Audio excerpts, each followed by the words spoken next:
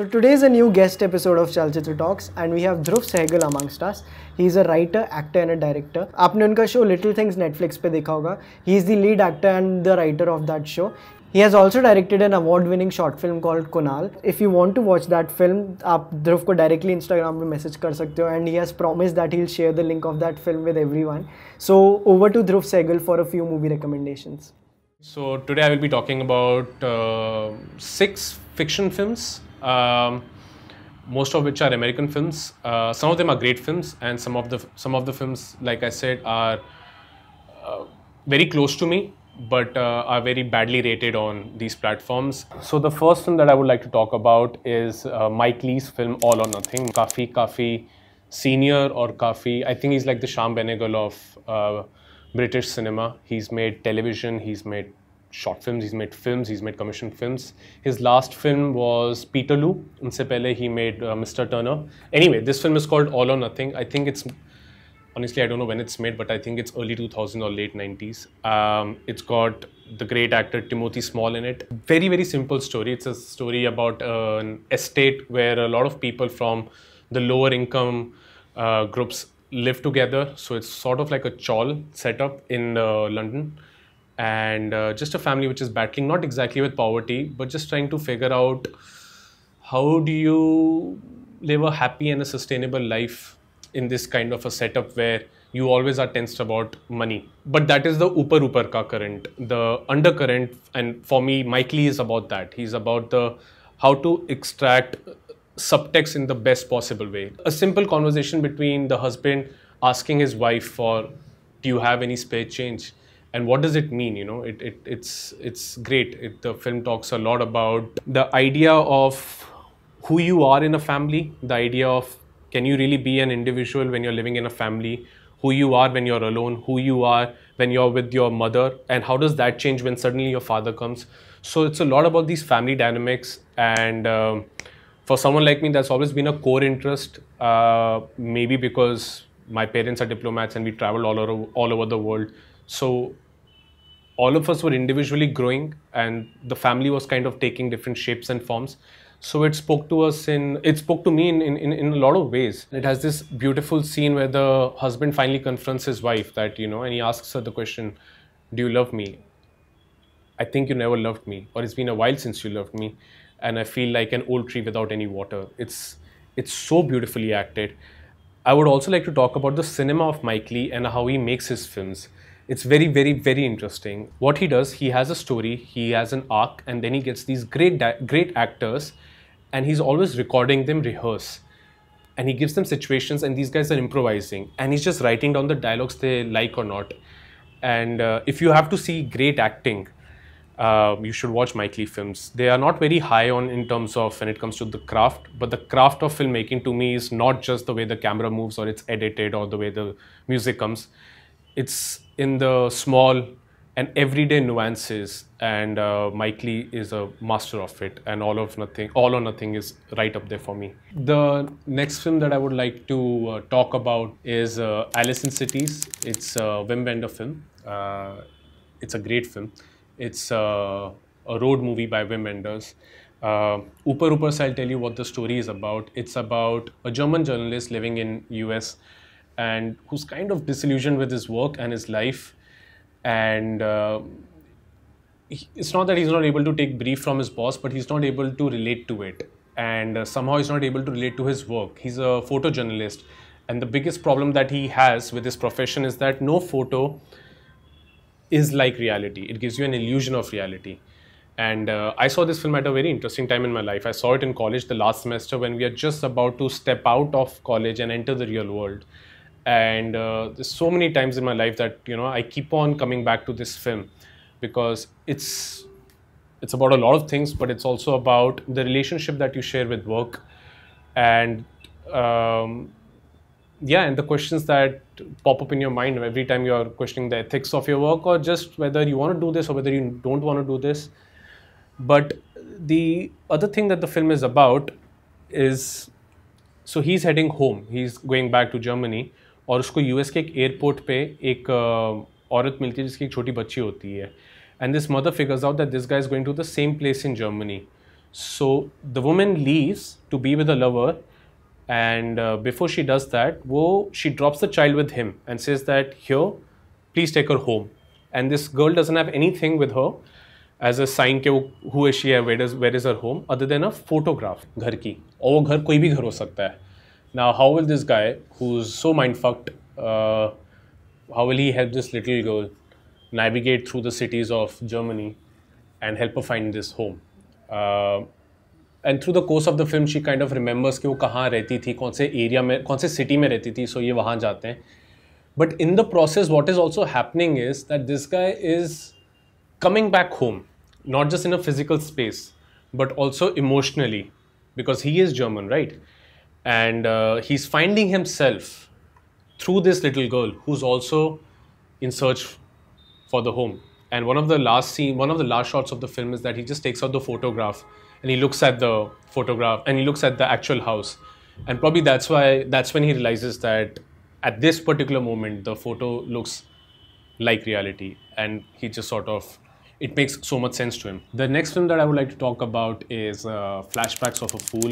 It's a film which has Daniel Craig. Uh, I think this film had released just after he was made, or his first Bond film had come.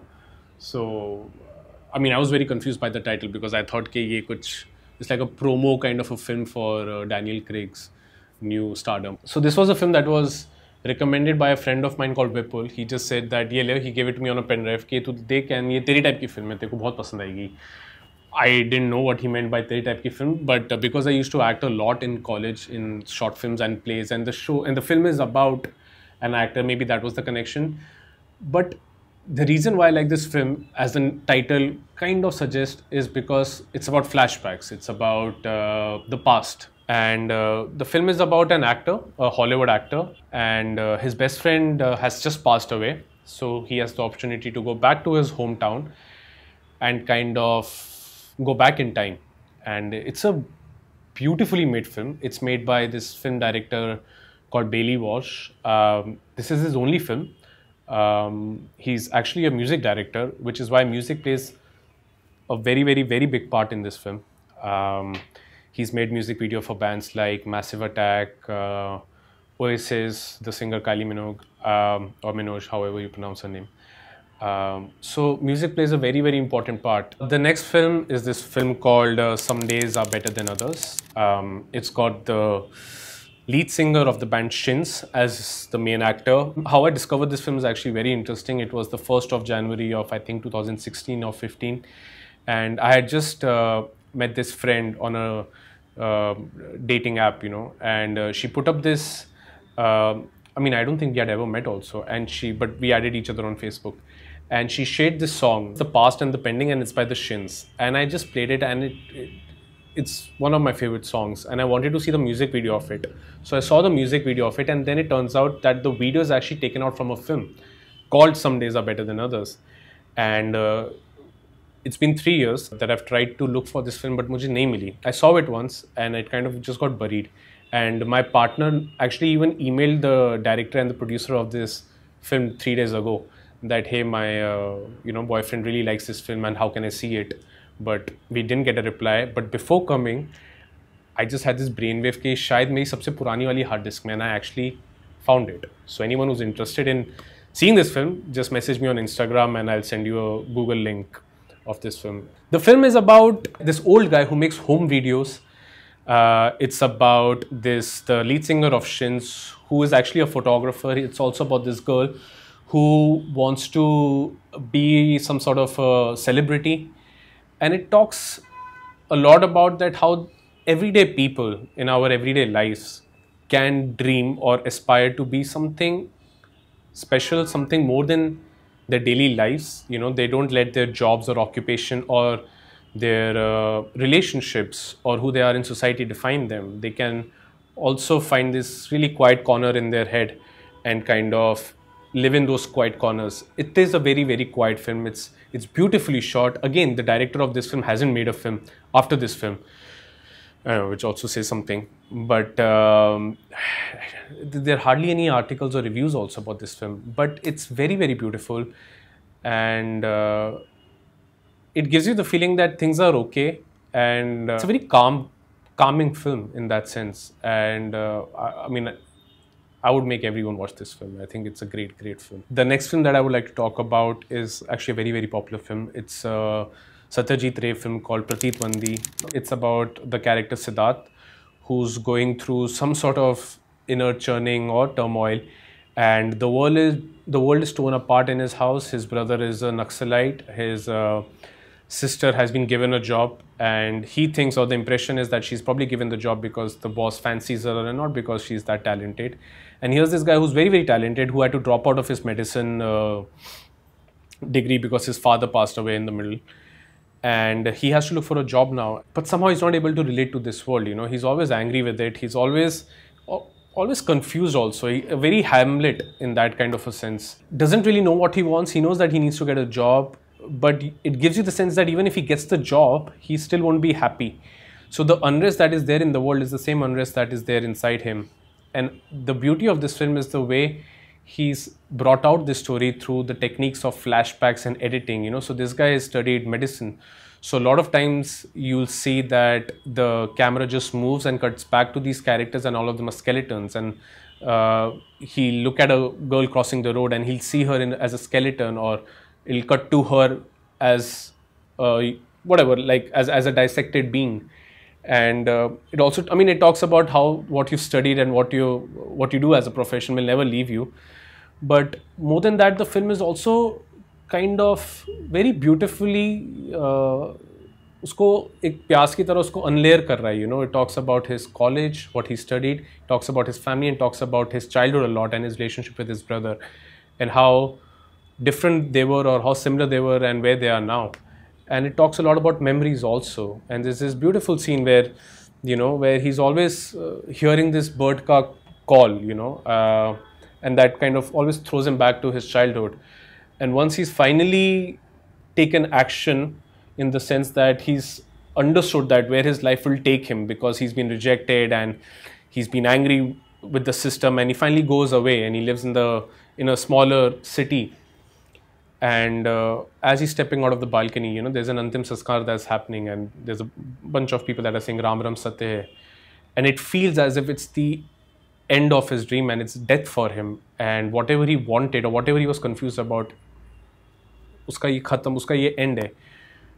But at that point, he hears this bird, you know, that he's been thinking about through the film, and the bird was part of his childhood. And you just feel that when one thing ends, the other one always has a beginning. It is one of the most beautiful scenes and I again saw this in college and I keep on seeing it. I saw it uh, I saw it three years ago and I saw it five years ago again. And uh, it always fills you up with some sort of hope. The next film that I would talk about or that I would like to talk about is Sideways. It's my all-time favorite film. If I have to see one last film before I die, it will be Sideways. It's a film by Alexander Payne. On the surface, it's a very simple film about a guy who's getting married and uh, his friend and him just go out on a wine tour of the states uh, around states. But it's it's it's a great film. It's an adapted from a book by I think Rex Pickett or Red Pickett, something like that. Um, it also won the best adapted screenplay at the Oscars. Not that that makes any film great or something, but uh, some validation. I saw this film because my best friend wanted to see it. Um, the first time we tried to see it, both of us fell asleep. But then he kept on asking me, okay, "Please, you gotta watch it. You gotta watch it. You gotta watch it." And then I saw it four years after he, um, you know, once four years after he first told me to see this film. Uh, what's amazing about this film is that it starts off as a as a story about one guy, then it starts a story about this another guy, then it starts a, as a, then it goes on from being about these two, then their friendship, then about wine, then about uh, their fun, then about their uh, displeasure or whatever, their, their, irritation with each other. Then it goes about them having flings with these two women. Then it becomes about these women. Then it becomes about what these flings mean to them.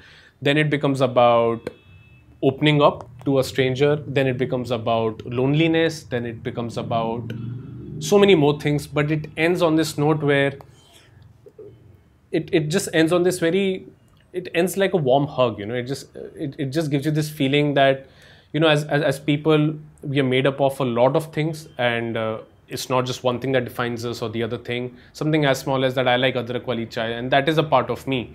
And I should love that part of me, you know. So similarly, this film has has this character who's a writer but a failed writer. You know, this character who loves wine and gives you the feeling that this guy or at the end of the film you just get this feeling that i love this guy because he loves wine it kind of just gives you the it, it always makes me feel happy about who i am with all my flaws with all my uh, uh, whatever good things and uh, yeah it's a film about friendship at the end of the day and it's a film about friendship not just with your friends or with your lover but also the friendship that you can have with your own self it's it's a very beautiful film it's very funny it's very very entertaining so it's not a film which you watch and you get mind fucked कि यार क्या देख लिया या कुछ ज़्यादा हो गया संडे के लिए it is a beautiful Sunday watch. These are my recommendations for uh, my favorite fiction films. Uh, next week, I'm going to talk about some documentaries that really, really resonated with me.